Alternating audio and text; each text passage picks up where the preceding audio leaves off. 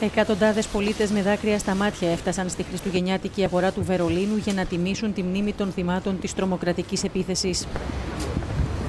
Ανάμεσά τους ήταν ο Γερμανός Υπουργός Εξωτερικών Βάλτερ Στάινμάγερ και ο Ιταλός ομόλογος του Αντζελίνο Αλφάνο, με το Στάινμάγερ να ορκίζεται ότι δεν θα επιτρέψει σε κανέναν να καταστρέψει τη ζωή των πολιτών.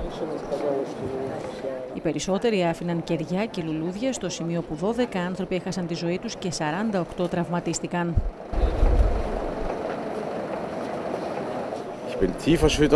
Είμαι βαθιά συγκινημένος, τρομοκρατημένος και εξοργισμένος. Είμαι θυμωμένος με την πολιτική κατάσταση η οποία μας αναγκάζει να ζούμε σε καθεστώς ανασφάλειας.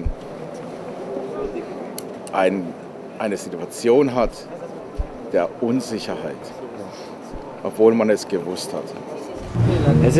Είμαστε τρει ημέρε πριν τα Χριστούγεννα και η γερμανική κοινωνία είναι χτυπημένη. Η καρδιά τη θρυνεί.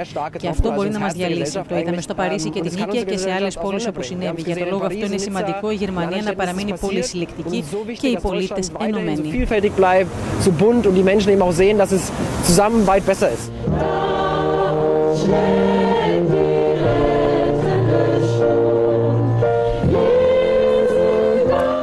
Ανάμεσα στους Γερμανούς πολίτες που συγκεντρώθηκαν στο κέντρο του Βερολίνου ήταν και αρκετοί μετανάστες οι οποίοι θέλησαν να εκφράσουν τη συμπαράστασή τους στο γερμανικό λαό.